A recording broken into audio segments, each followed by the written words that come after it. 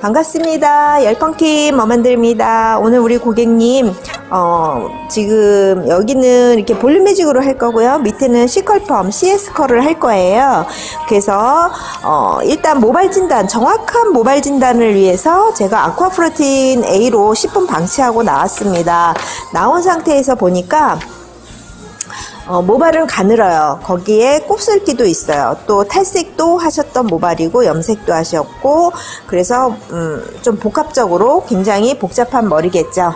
자, 이럴 때 원장님들한테 제가 팁 알려드릴게요. 자, 아쿠아프로틴 A로 먼저 10분 방치하고 나오신 다음에 젖은 모발 상태에서 어, 이게 손상이 있는 모발인가? 손상이라도 탈색으로 인한 손상이냐? 아니면 염색으로 인한 손색이냐? 그걸 잘 보셔야 돼요. 근데 어, 반 정도, 2분의 1 정도는 지금 탈색을 했던 모발이거든요. 그래서 저는 피카의 어, PB, PB에 아쿠아프로틴 A 세 펌프하고 어, 버진 버진은 아니죠. 염색으로 인해서 이렇게 곱슬기도 있고 어, 이런 손상 머리에는 어, 곱슬기가 있어서 저는 여기에 그러니까 모근에서부터 2분의 1 중간 모발 중간까지는 어, C2 예, 피카의 C2 건강모예요. 거기에 아쿠아프로틴 A 세 펌프를 넣어서 도포하겠습니다. 자, 시작할게요. 자, 무슨 얘기냐? 전처리 없이 들어갑니다. 네, 전처리 없이 젖은 모발 상태에서 네, 지금 탈색된 부분은 PB에다 아쿠아프로틴 A 세 펌프를 넣었어요.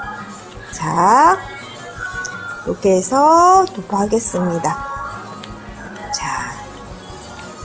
우리 고객님은 어, 소개로 오셨기 때문에 제가 굉장히 잘해드려야 돼요. 신경이 쓰입니다. 또 소개하신 고객님도 불안해서 전화도 오시고요. 잘 부탁한다고. 그래서 열심히 해보겠습니다. 네.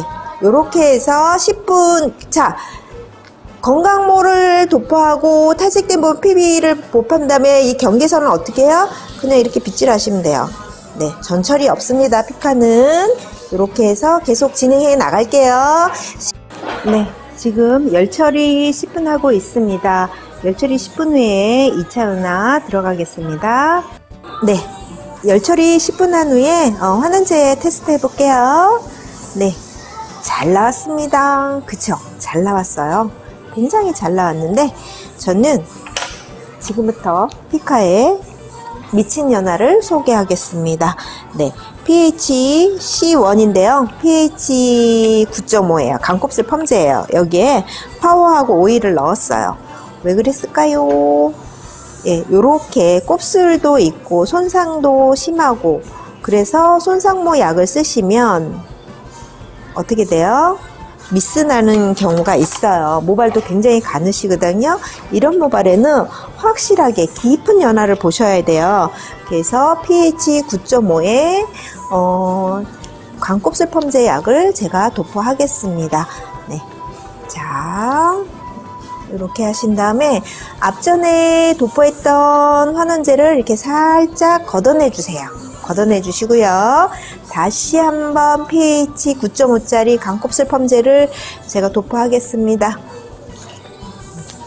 넉넉하게 발라주세요. 넉넉하게 이렇게 도포해 주시면 자 어떤 현상이 일어나냐면 이게 탈색된 모발이거든요. 탈색되고 염색됐으니까 어떻게 돼요? 쭉 늘어나야 돼요. 쭉 옥수수 수염 같이. 근데 어떻게 되고 있나요? 오 단단해지면서 네 좋아지고 있어요.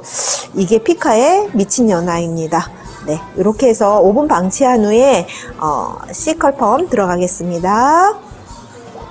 네, 미친 연화 하고요. 깨끗하게 어, 세척하고 나왔습니다. 네, 어때요? 네, 늘어짐이 없이 어, 탈색된 모발이고 손상된 모발이에요. 염색으로 인한. 그래도 예, 어때요? 단단해요. 네, 우리가 어, 생각했을 때 손상이 있고 탈색이 된 모발이니까 손상모로 해야 된다면 미스가 나요. 그리고 이분은 이렇게 우리 고객님 모발 같은 게 가늘면서 곱슬이 굉장히 심했었거든요. 근데 어때요? 다 펴졌어요. 그냥 젖어 있을 때 이렇게 다 펴져야 돼요. 싹 펴져야 곱슬이 펴진 거예요. 만약에 어, 연화하고 나서 세척하고 나왔는데 이 부분이 곱슬이 있다. 그럼 다시 연화 보셔야 돼요. 근데 지금처럼 이렇게 미친 연화로 하시면 어, 제도포가 필요 없습니다. 네, 이렇게 해서 수분 조절하고 어, 와인딩하고 프레스 작업 들어가겠습니다. 네, 로또 잭 제거하시고요. 파마 종이 3장 이렇게 3장을 하신 다음에 자, 덮개 아이롱을 활용하시는 거예요. 하나, 둘, 셋, 넷, 다섯. 네, 이렇게 찝어주시면 좀 더 컬이 탄력 있는 어, 펌을 얻을 수 있습니다. 하나, 둘, 셋, 넷, 다섯. 네, 이렇게 해서 계속 진행해 나가겠습니다. 예, 뿌리, 더블로 뿌리 한번 살려볼게요. 우리 고객님 여기 이렇게 뿌리가 납작하게 누워서 났어요. 그래서 약간 좀 또 볼륨을 주기 위해서 네, 더블로 뿌리를 한번 살려 보겠습니다. 네, 피카는 봉도 길고, 네, 그래서 금방 하실 수가 있어요. 굳이 뭐 여러 번 테크닉 안 하셔도, 네. 자, 이렇게 해서 13mm고요. 이렇게도 뿌리가 많이 살지만은 17mm로 더블로 또 살려주시면 좀 더 확실한 어, 뿌리로 살릴 수 있겠죠. 네. 자, 이렇게 하나, 둘, 셋, 넷, 다섯. 하나, 둘, 셋, 넷, 다섯. 이렇게 빼시면 네, 굉장히 많이 살아요. 계속해서 진행해 나가겠습니다. 네, 중화후에 단백질 샴푸 하고요. 어, 물로 깨끗이 헹구고 나왔습니다. 자, 보시면 컬이 굉장히 탄력 있게 잘 나왔죠? 예, 완전 건조하고 다시 한번 보여드리겠습니다. 네, 이렇게 해서 어, 완전 건조하겠습니다. 네. 자, 이렇게 하시고요. 한번 풀어보겠습니다. 짜잔. 예, 이게 그 탈색된 머리예요. 손상된 머리. 어떻습니까? 예, 예쁘죠? 네, 네, 예쁘죠? 네, 이렇게 해서 또 예쁜 사진 찍어서 올릴게요.